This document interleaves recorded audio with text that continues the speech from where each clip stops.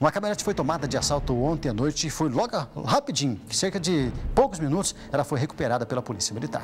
A caminhonete foi roubada na rua Maria José Carneiro, no Jardim São Fernando, e recuperada depois de uma perseguição policial na região sul.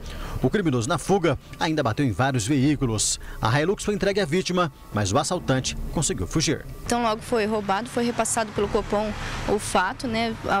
Uma equipe policial visualizou o veículo em alta velocidade em atitude suspeita. Esse veículo na fuga é, colidiu em outros veículos, infelizmente, né? porém sem vítimas. É, foi perdido de vista pela equipe que realizava o breve acompanhamento, contudo o veículo foi localizado após diligências na região do Acapulco. O bandido, além de assaltante, foi bastante imprudente, quase provocando uma tragédia na, nas ruas da região sul. É, felizmente não, não houve vítimas, né? Só que o, o indivíduo que, que comete o delito e, e, delito dessa gravidade, que é o roubo, né, ele está pouco se importando com a segurança alheia. Tanto que colidiu com diversos veículos durante o deslocamento. Infelizmente ele conseguiu fugir, né? É, infelizmente ele, ele, logrou êxito na sua fuga.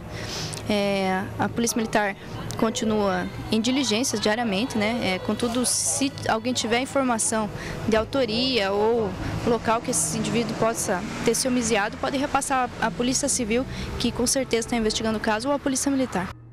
Se você sabe de algo, ligue para a polícia, hein?